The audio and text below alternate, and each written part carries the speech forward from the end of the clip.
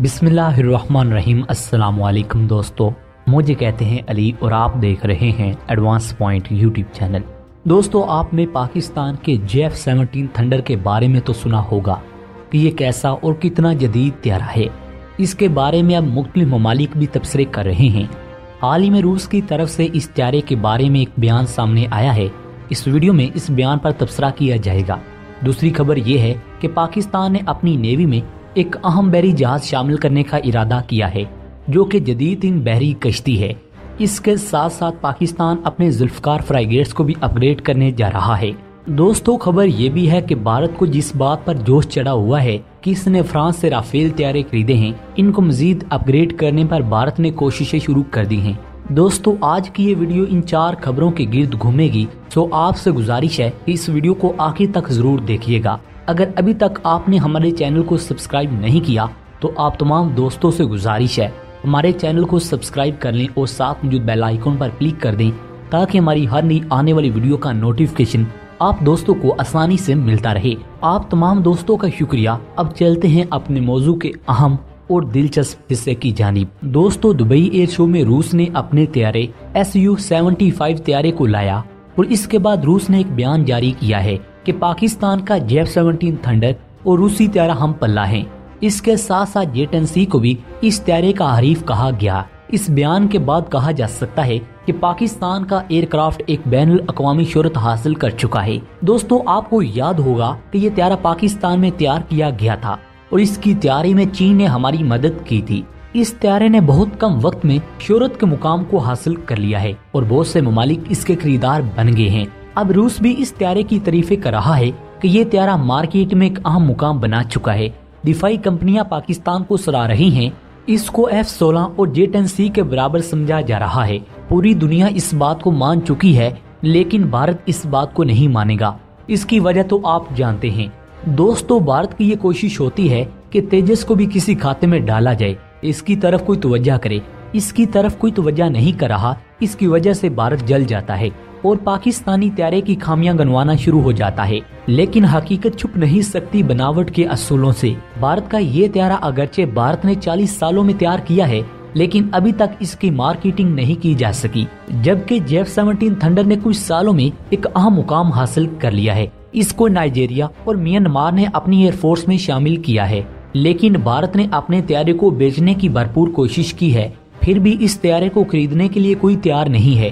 اسی وجہ سے بھارت نے دبئی ایئر شو میں تیجس کو پیش کیا تھا، لیکن اس کے برعکس پاکستان نے اس ایئر شو میں شرکت نہیں کی تھی، کیونکہ پاکستان کے تیارے کو مارکیٹنگ کی ضرورت نہیں۔ دنیا اس کی خوبیوں کو جان گئی ہے۔ اس ایئر شو کے دوران بھارت نے تیجس کو اڑا کر بھی دکھایا، لیکن اس کے باوجود بھارت کا وہ مقصد پورا نہ ہوا، جس کے تحت وہ اس ایئر شو میں اس کو لے کر آیا تھا۔ اس کی مارکیٹنگ نہ ہو سکی۔ یعنی اس کا کوئی خریدار نہ بن سکا۔ اس کے برعکس پاکستان کو ایک اور ملک مل گیا ہے، جس نے جے ایف سیونٹین تھنڈر خریدنے کا اظہار کیا ہے۔ اب دوسری خبر کی جانب بڑھتے ہیں کہ پاکستان ایک مائن ہنٹر اپنی نیوی میں شامل کرنے جا رہا ہے۔ پاکستان نے نیدرلینڈ سے دو مائن ہنٹر اپنی نیوی میں شامل کرنے کا ارادہ کیا ہے۔ اس معاہدے پر باقاعدہ دستخط کیے جا چکے ہیں۔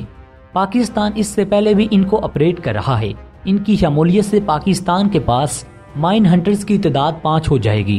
یہ 630 ٹن کی مائن ہنٹر شپ ہے اور یہ ایم کے فور ہنڈریڈ میگنیٹک فیلڈ سے لیس ہے۔ یہ سمندر میں بچائی گئی مائن کو سرچ کر کے تباہ کر دیتی ہے۔ اس کی رینج پانچ ہزار چھ سو کلو میٹر ہے۔ اس کے اندر دو قسم کی مشین گنے نصب ہیں، جو کہ دو شریہ پانچ ایم ایم پر مشتمل ہیں۔ ان شپس کو پاکستان نیوی کی ضروریات کے مطابق اپ گریڈ کیا گیا ہے۔ ان کے اندر کمبیکٹ سسٹم نصب کیے گئے ہیں اور اس کے ساتھ ساتھ اس کے اندر تین ہاک مائٹر سونار لگائے گئے ہیں۔ اس کے ساتھ مائن ڈیٹیکٹر اور ڈیپوزل سسٹم بھی اس میں نصب کیے گئے ہیں۔ اس شپ کا بڑا مقصد یہ ہے کہ وہ دشمن کی طرف سے لگائی گئی زیر سمندر سرنگوں کو ڈھونڈتی ہے اور انہیں تباہ کرتی ہے۔ ایک مائن ہنٹر جب مشن پر جاتی ہے تو وہ سب سے پہلے میگنیٹ سونار کے ذریعے پتہ لگاتی ہے کہ مائن کہاں کہاں لگائی گئی ہیں اور اس کے بعد ان کو ٹارگیٹ کر کے ٹھکانے لگاتی ہے۔ اس کے لیے گوتا خور وہیکل اس مقام پر بھیجی جاتی ہیں جہاں ان سرنگوں کی نشاندہی ہوتی ہے۔ وہیکلز اپنے برودی مواد سے ان سرنگوں کو اڑا دیتے ہیں۔ ایک خاص فاصلے سے ان پر وار کیا جاتا ہے۔ اس کا مقصد یہ ہوتا ہے کہ سرنگ کے قریب اتنا نہ جائے جائے کہ اس کے پھٹنے سے خود کو بھی نقصان پہنچے۔ اس لیے خاص فاصلے سے ان کو ٹارگٹ کیا جاتا ہے۔ تیسری خبر آپ کے ساتھ شیئر کرتے چلیں کہ پاکستان نے بھی اپنے فرائی گیٹس کو اپ گریڈ کرنے کا ارادہ کیے بیٹھی ہے یہ ذوالفقار نامی فرائی گیٹ ہے۔ اس کے اندر الیکٹرونک سسٹم اور گائیڈڈ سسٹم کے علاوہ دوسری الیکٹرونک ڈیوائسز لگانے کا ارادہ ہے۔ اس کے لیے پاکستان اپنے دوست ملک ترکی سے مدد لے رہا ہے۔ اس کے اندر ترکی کی بنائی گئی الیکٹرونک ڈیوائسز لگائی جائیں گی۔ اس کا مقصد یہ ہے کہ یہ دشمن کے ریڈاروں اور دفاعی نظاموں کا پتہ لگانے کے کام آئے یعنی دشمن کے ریڈاروں کو جام کیا جا سکے اور دفاعی نظام کو کاؤنٹر کیا جا سکے۔ اس سے کئی کام لیے جائیں گے۔ دوستو، اس کا سب سے اہم کام یہ ہوگا کہ یہ تمام انفارمیشن کو ہیڈ کوارٹر تک بھیجے گی۔ اب دوستو، بات کرتے ہیں چوتھی خبر کی۔ بھارت نے فرانس سے جو رافیل تیارے خریدے تھے، ان کو اپ گریڈ کرنے کا ارادہ رکھتا ہے۔ بھارت اپنی ضروریات کو مد نظر رکھ کر اس کو اپ گریڈ کرے گا۔ جس جس چیز کی ضرورت ہوگی، اس میں وہ لگائی جائے گی۔ اس مقصد کے لیے بھارت کی ایک ٹیم فرانس میں گئی ہوئی ہے اور ان سے مذاکرات کیے جا رہے ہیں اور مشورے کیے جا رہے ہیں۔ کہ ان تیاروں کو کس حد تک اپ گریڈ کیا جا سکتا ہے۔ اس چیز کا جائزہ لیا جا رہا ہے کہ ان تیاروں میں مزید کن ہتھیاروں کو فٹ کیا جا سکتا ہے۔ کیا اس کے ہارڈ پوائنٹ کو بڑھایا جا سکتا ہے؟ ایسا کرنا بھارت کے لیے ممکن ہے یا نہیں؟ اس کے لیے فرانس سے بات چیت کی جا رہی ہے۔ دوستو، بھارت کی جانب سے بتایا جا رہا ہے کہ رافیل کو ڈیڑھ سال میں اپ گریڈ کر دیا جائے گا۔ اس کے اندر جیمنگ سسٹم لگانے کی کوشش کی جا رہی ہے۔ دوستو، جب سے پاکستان نے جے ٹین سی کو خریدا ہے تب سے بھارت کی ہوا نکل چکی ہے اور اپنے تیارے کی خامیاں اس کو نظر آنے لگی ہیں۔ دوستو، آپ کا اس حوالے سے کیا کہنا ہے؟ کمنٹ سیکشن میں ضرور بتائیے گا۔ اگلی ویڈیو تک اپنے میزبان ڈاکٹر علی کو اجازت دیں۔ پاکستان زندہ باد۔